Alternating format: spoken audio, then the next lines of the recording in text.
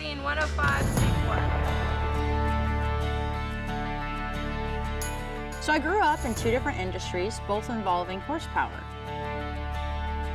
Her passion being horses, mine being horsepower, and I cannot wait for you to see our adventures.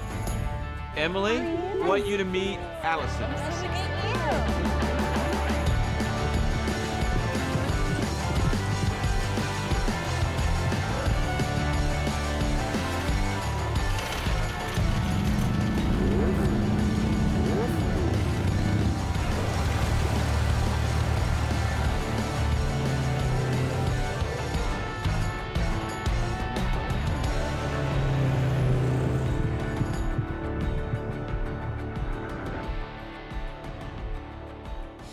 Taylor, I really appreciate, and I know Emily may have had a little more fun today at the NASCAR Hall of Fame. Probably pretty fun for you to experience as well. Oh yeah, it's, it's been a while since I've been there, um, so it's really cool seeing like all the new stuff that's gone in and, and what has changed over the couple of years that it's Yeah. been since I've been there. Yeah, obviously, in growing up in a racing family, um, and the Dale Earnhardt Foundation is very near and dear to your heart. Can you tell me a little bit about that? Absolutely, uh, you know, it, it- everything that was important to Dad is what we've based it off of, with wildlife, education, and children, and we try and do a lot with in all three of those areas. We uh, we have a great campus with the Girl Scouts, the Dale Earnhardt Leadership Campus, and um, has a lot of great you know activities you know and, and, and the girl scouts are such a great group and and so i mean I, i'm bummed out that i never was one but uh but visiting up there and seeing everything they do now is great and you know we do scholarships legend leadership award and it's really cool being involved with all that and seeing you know all these things that can help change the world and, and make this a better place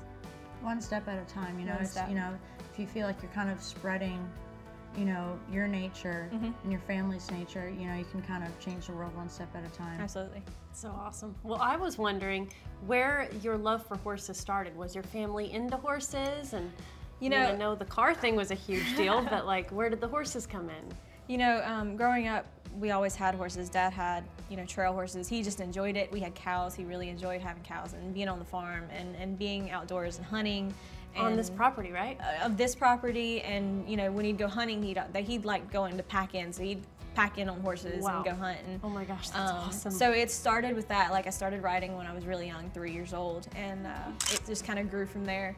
And you know, eventually I, I found out you could compete on horses and go Yeah, fast, and that yes. just went right up my and alley. that part of your dad is in you. That like, is, for sure, you for are sure. Super So competitive and like go when I, getter. yeah, so when I discovered barrel racing, I was like, this is this is it. This is what I got to do.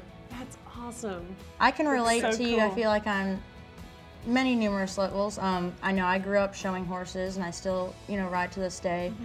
You know, it started out with just kind of riding leisurely, but obviously I have a competitive nature. But I think I kind of get the competitive nature um, growing up in a NASCAR family as well. Absolutely. Being a daughter of a team owner in the truck series, being at the track or being at the horse show, I feel like the people are kind of the same.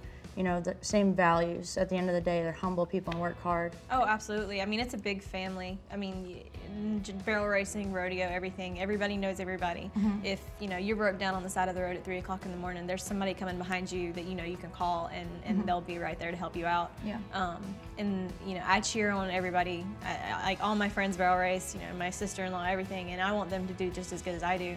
And if they have a bad day, I feel like I feel bad for them because I have a bad day because Yeah, you it's know hard it's, to it's enjoy horrible. your- yeah, I mean your day. but uh, you know, it, it's great being able to be a part of that community, and it, it was the same when I was younger, going to races and stuff. You know, everybody was a family.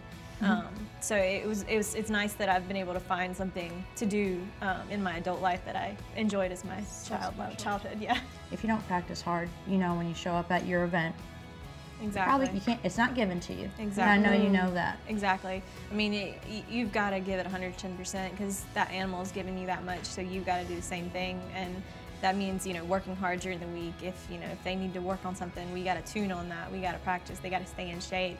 Um, the therapy that, you know, we put them through to, to keep them feeling good, keep their muscles, you know, just feeling good, keep them sound. It's just, it's a lot that goes into it and it's the same way with racing you know like you prepare for every track you go to and you only have a certain amount of days between races you know that you mm-hmm. got to change stuff change mm-hmm. stuff so it, it's a lot that goes hand in hand. You got to the get to know your car and Yeah. get out there and feel the pavement and Exactly. feel how that surface feels. Like we were looking at the Hall of Fame. It's Exactly. so I mean, we'll be we'll be going to a rodeo, and, and if it's one that I haven't been to, that I'll I'll be calling people that I know have been there and be like, what's the ground like? What's the arena like? Who do I need to bring? Like what? And I'll be preparing. From an outsider's perspective, like you said, you turn right once, then left twice in barrels.